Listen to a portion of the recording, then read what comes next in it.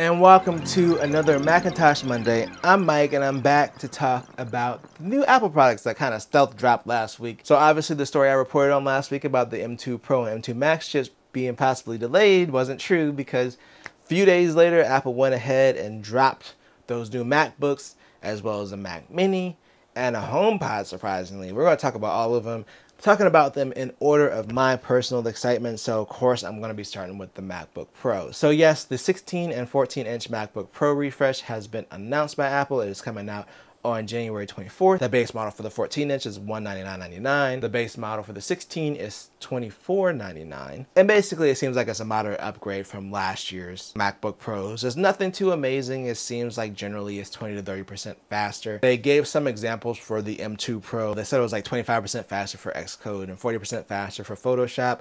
And then the M2 Max, they just basically said that the CPU was 20% faster and the GPU was 30% faster than the M1 Max. And they also made a brief brief mention about supporting 8K displays, and that is because they are actually bringing HDMI 2.1 to the MacBook Pro. The reason that this is important is because there are probably going to be a lot of displays coming out that support HDMI 2.1. So for example, this TV I use behind me as a monitor is an LG OLED and it supports HDMI 2.1 and it does 4K 120 hertz. But you can only get that if you're doing HDMI 2.1. If not, you're stuck at 4K 60. So when I use my Mac Mini on this TV, I'm stuck at 4K 60. So this is going to allow you to drive 4K displays up to 240 hertz, as well as drive 8K displays. So that's why this whole HDMI 2.1 thing is a big deal. They didn't say it was HDMI 2.1 in the presentation, but Obviously it is. So one thing I noticed when I went to Apple's fancy splash page that they always do for new products, they have these performance charts for the M2 Pro and Max, and they compared it to the M1 Pro and Max, obviously, as well as the last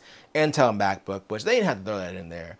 I mean, come on, that's like, what, a three or four generation old Intel chip at this point? Of course, it's not going to perform nearly as well. In their defense, there probably are people that still have Intel MacBook Pros, and they probably want to see what the performance difference is, so I won't give them that. What I was specifically looking for was the M2 Pro versus the M1 Max. Usually, generationally, you want to outperform your last highest chip with the chip below that so that way you're being like okay well this chip is so good. This is as good as our best chip from last generation.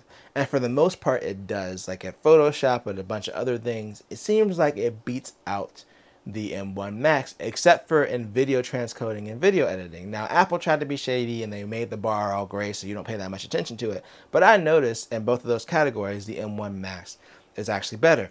The reason I'm even bringing this up is because there are probably going to be some sales on the MacBook Pros with the M1 Max chips. They were on sale not too long ago around Christmas time. And with them now being discontinued, they're probably going to be on sale again. So there's a small chance I don't know how much they're going to discount them, but there is a small chance that they could possibly be the same price or lower than buying an M2 Pro MacBook.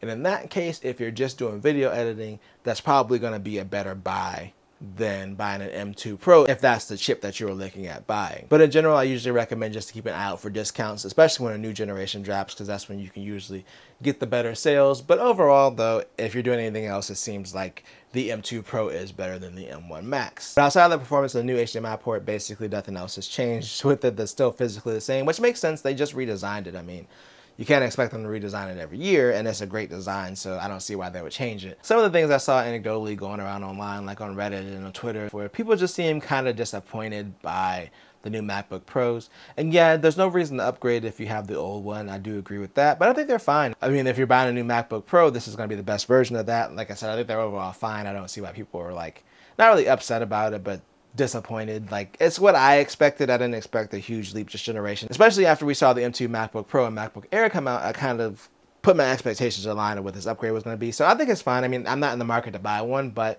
it seems like a normal upgrade is like around 25 to 30 percent. That's that's fine. And that's why I'm going to rate it. I'm going to rate it F for fine. Now the next thing I'm kind of excited about because I do have the M1 Mac Mini and that's the M2 Mac Mini. That's also coming out on the 24th and that's going to be $5.99 for the M2 version and $12.99 for the M2 Pro version. That's right, they are dropping the high-end Mac Mini, that's the most exciting part. Now personally, I'm not going to upgrade to the M2. The M1 serves my purposes great and it handles everything I can throw at it musically. But the M2 Pro is tempting because remember I talked about the HDMI 2.1 earlier. Well, the M2 Pro version is also going to have HDMI 2.1, so I could drive my TV display at 4K 120 and get buttery smooth scrolling and everything. That'd be nice, but I don't know if it's worth me upgrading for. Obviously, the performance is going to be way better than my M1, but I also have a Windows desktop that's pretty beefy anyways. I don't really need that performance like that. But yeah, I'm glad that they finally brought back the higher end Mac Mini. It's similar to what they had before. They always had the lower end Mac Mini and the higher end one that was similar to the MacBook Pro configuration. So it seems like they finally brought that back. And also the Pro version has two more Thunderbolt 4 ports, so it has four altogether, whereas the base version has two. Now there is a big price jump. Again, this is what Apple's always kind of done with the higher end version of the Mac Mini. Like 599 for the base and then 1299 for the Pro. There is like the step up model, which I think is like 799, which is still a $500 jump even from that one. That's kind of a lot. It's kind of a big jump, I'm not to lie.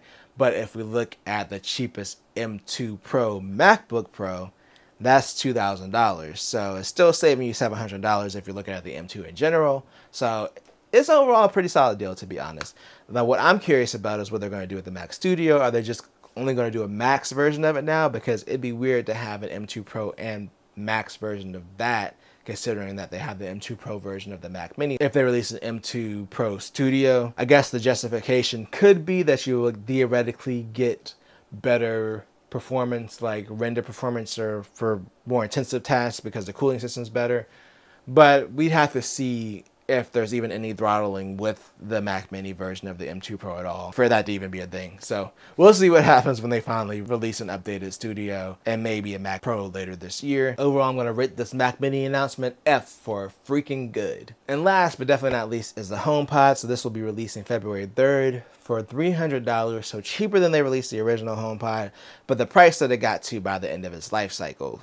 It is the thing that I'm most excited for. I've had a home HomePod since 2019 and I was not happy with it when it first came out. It was missing some basic things, like not having voice recognition initially when it launched. If you allowed Siri to read your messages, it would just read your messages to anybody that asked. That was it was pretty terrible. And then of course you didn't have multiple users either. Now that they've added that stuff, Siri's gotten a lot better. I actually feel like towards the end the HomePod was kind of worth it, and then they discontinued it right after they released the HomePod Mini. And now they're bringing it back. And I have a feeling it's probably because the HomePod Mini did really well for them, which maybe they should have just launched with the Mini in the first place. But I'm really excited for it. And back when I did my video in 2019, when I was not that happy with it, I did mention like, hey, you can get one of the Sonos speakers for like $200. But after heavily investing in Sonos products, they're still great. I have the Sonos Ray behind me connected to my computer along with two of the IKEA Symfonisk bookshelf speakers as rear surrounds. I have a Sonos Beam in the other room with two more of those speakers, and I have both generations of the Sonos lamp from IKEA.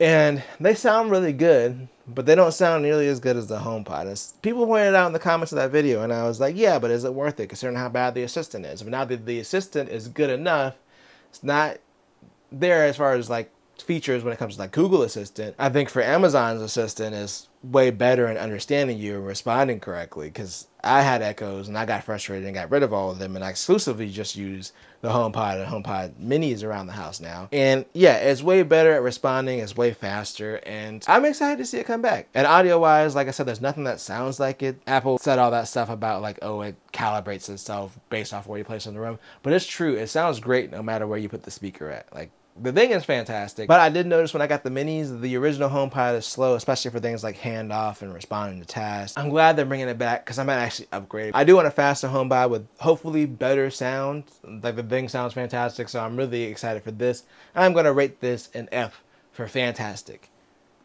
I rated everything Fs. I'm getting out of here for the day. Let me know down below which Apple product you're most looking forward to. You have a great rest of your day. Peace out.